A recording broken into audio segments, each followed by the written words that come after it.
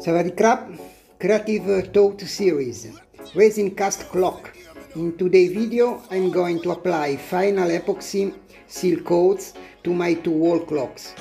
Before jumping to it, please subscribe and ring the bell for future video notification. And now, without any further ado, let's to build some and let's have fun with!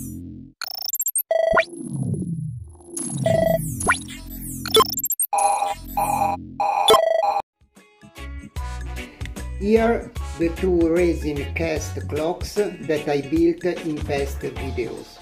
If you are interested in how I ended up to this point, above my head web links to past episodes. I just clean my two clocks with rubbing alcohol. And here a silicone mold in which I cast and built pyramids that I use as tripod to keep the piece suspended while I'm applying epoxy seal coat. What is really important at this stage of the process is to have the suspended piece in a perfect flat position that guarantees epoxy spread apart uniformly. I mix and I'm stirring a small quantity of epoxy. For the first seal coat I'm going to apply a really thin layer, just enough resin to seal the surface properly. With a foam brush, I'm applying a thin layer of epoxy, just enough resin to seal the entire surface and prevent air bubbles forming. As you can see, I'm applying the first seal coat only on the hood part of the clock.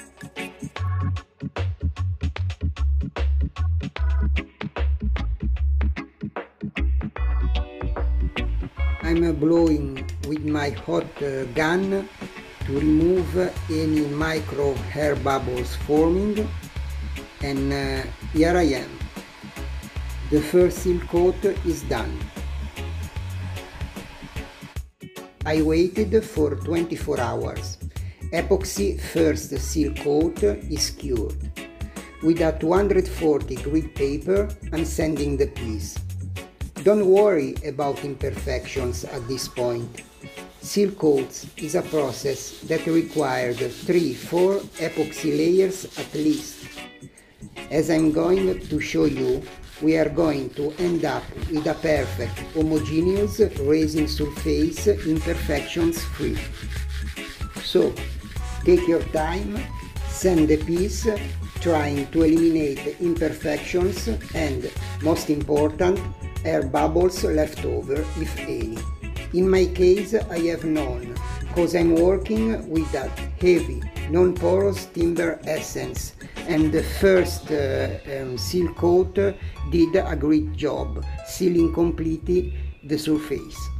With uh, rubbing alcohol, I remove all the fine soda epoxy dust left after sanding.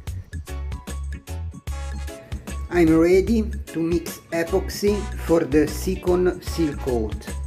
And uh, how much resin do I need? 1 ounce per square foot or I'm European Italian 30 grams per 1000 square centimeter. I have to calculate the area of the piece. So the clock is 30 centimeter long and 30 centimeter wide so an area of 900 square centimeter. So, because I need 30 grams per 1000 square centimeter, I round 900 to 1000 square centimeter. Therefore, for one clock I need to mix 30 grams of epoxy.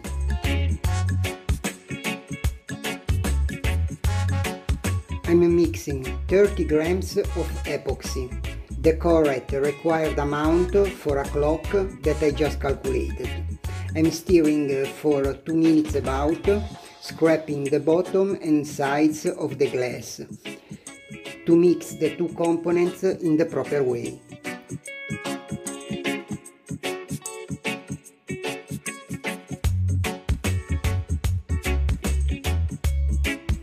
With a silicone squeegee, I spread resin apart, working my way from the center towards the clock edges.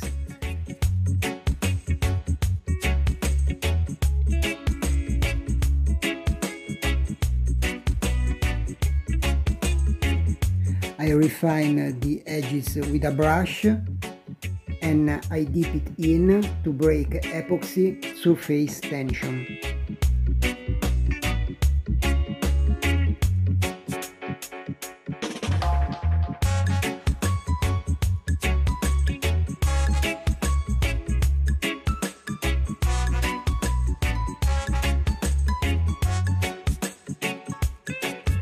My hot gun I blow away air bubbles and uh, the second seal coat is done. Work completed. Oh oh, dripping! Resin is a self-leveling material and dripping is part of the deal, practically unavoidable. So, how to solve the problem? Let's rewind the tape.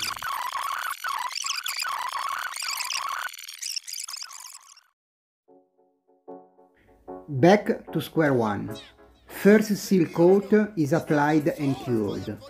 I'm ready for the second seal coat. Before to, do that, I'm going to apply scotch tape to the clock backside edges. Resin doesn't stick to plastic smooth surfaces, do you remember?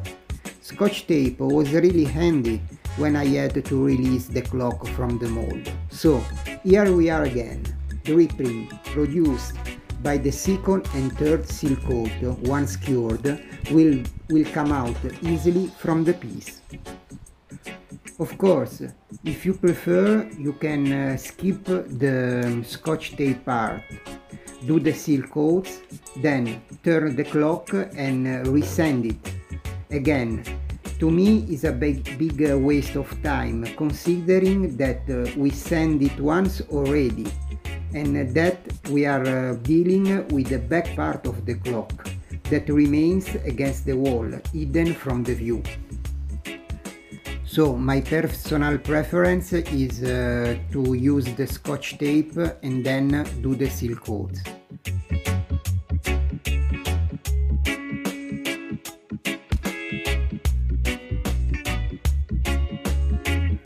Scotch tape is applied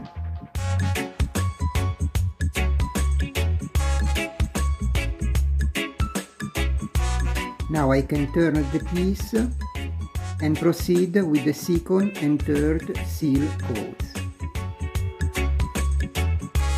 I forward the tape, first and second seal coats are done, I'm ready for the third one. All the steps involved in this uh, third seal coat are exactly the same as the one that I use on the second seal coat and as well the quantity. I'm going to mix 30 grams per 1000 square centimeter.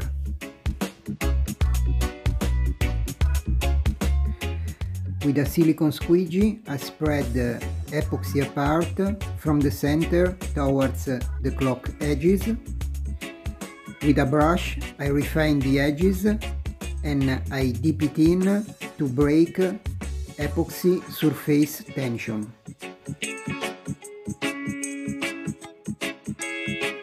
With my gun I blow away air bubbles left over. And uh, the third seal coat is done. Let it cure. I let epoxy cure for 6 hours about, it is still tacky and I'm ready for the final fourth seal coat. Again, all the steps involved are exactly the same as the one for seal coat 2 and 3, except for the resin quantity.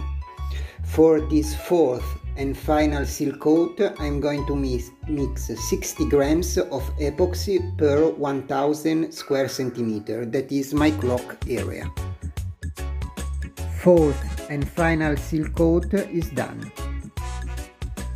Thank you very much for watching and in the next and final video of this Creative Thoughts series Resin Cast Clock I'm going to finish the back part of the piece and install the clock mechanism. See you soon, bye bye!